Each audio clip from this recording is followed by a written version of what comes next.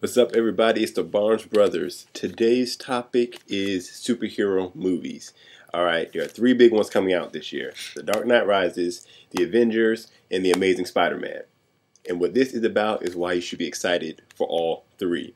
There's a lot of, you know, flame wars on the internet about which one's better or this is greater than that and all blah blah blah and why this movie's going to be terrible but this one's going to be awesome. But here is why I am excited about all three. I'm going to start with my favorite, The Dark Knight Rises. All right, let's get started. All right, Dark Knight Rises. Now, I love Batman, but um, what Christopher Nolan has been doing with these movies is awesome. You know, uh, produced by Legendary Pictures, uh, directed by Christopher Nolan. What he has done with the Batman mythos, I really love it. Uh, some people fault it for not being true to the comics, and um, some people say it's a little bit too realistic. Actually, I'm going to get onto that a little bit later, but I like what he's doing with it. He's doing a very good job. I mean, they're very successful. Um, um, I love what he did with um, with Heath Ledger did with Joker um, in the Dark Knight, and um, even Batman Begins. I recently went back and watched that whole movie. I really like just the whole way that was dealt with. I really do like the movies. I really like the way they're being handled. You're right, they're not necessarily very true to the comics, but it's more realistic in the sense that you could see something like that almost possibly happening in the real world. Now, one um, thing that people say against it is that you know superheroes aren't real, so why are you trying to make it realistic? Just stick to the comics and things like that. You know, and that's why I'm gonna talk about Avengers in a second. Why I like Avengers because Avengers to me is more of a comic book movie, and there's a place for that, and that's awesome. And so I like the world we can have both of those. And right now we're having both of those. You have Marvel doing stuff with their movies that's just like straight up, just really maybe not necessarily true, true, true to the comics, but just are very fun. And you don't I don't go to see Marvel Studios movies for something deep and thought provoking. I don't plan to leave really thinking about something really philosophical. I plan leaving knowing that I saw some cool explosions, some awesome action, some comedy, some funness. I feel like I left reading a comic book basically, and that's what I like about Marvel Studios movies.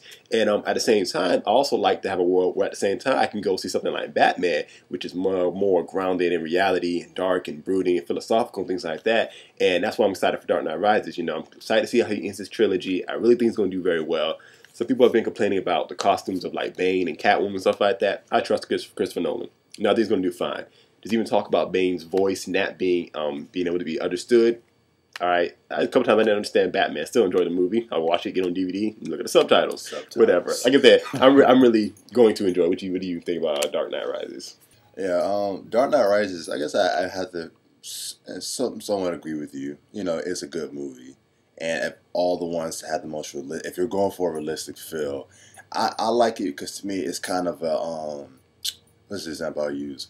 Probably like it's like an agent for um the geek community or the comic community in the sense of getting people, I guess, for putting it more mainstream. So people say, mm-hmm. "Oh, look at this this Batman guy." I know you assume everyone knows Batman, but for anyone who doesn't know who Batman is, they might just come into it and say, "Oh, I like this. This was a good movie." Blah yeah. blah blah, and it might get them into comics, and you know, so for as far as that and getting the the you know the comic scene exposure to blow mm-hmm. up and all that stuff, then you know I think if it does, mm-hmm. it could do that for. It, I yeah, think, you know. And um, yeah, that, that's that's a good thing. You know, so a lot of times there were movies that have been made in the past that are very corny, and if anything, they hurt the comics industry because they gave a twisted view of uh, comics characters.